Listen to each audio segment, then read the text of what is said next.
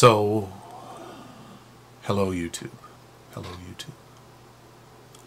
YouTubers, YouTubers, you tubular. Man, this is hard. This is really, really hard.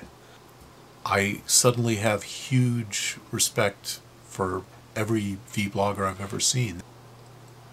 So I just got to get past this first vlog. I I've been a member of YouTube for about two months now. I've wanted to start putting up content pretty much from the start. Is this chair going to drive everyone crazy, the squeaky chair? Greetings, YouTube. Um, um, um, um, um.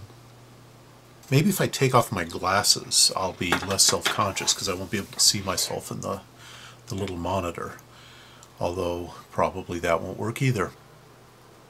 Don't blink. Don't look around strangely. Don't go um all the time.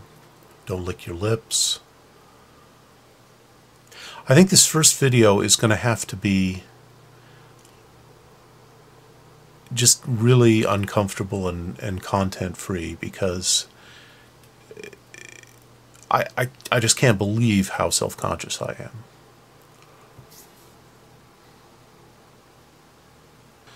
It's Saturday, October 14th, 2006. Four weeks from this weekend is going to be an extremely significant weekend in my life, and it's been on my mind that if I were ever going to do this, I would probably want to get up to speed before that weekend of November 10th and 11th.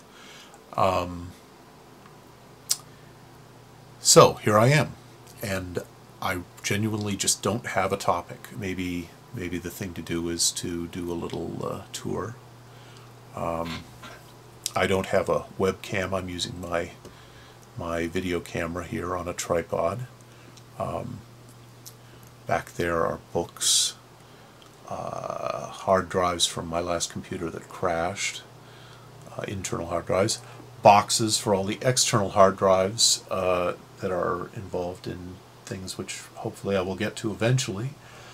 Um, my couch, which over the past couple of years has become a second home to me uh, on certain nights when I have to do tremendous amounts of uh, computer rendering and have to wake up and go back to sleep again and again um, while that's going on. So I just uh, uh crash here uh, that right there in the center of the screen is Zelda.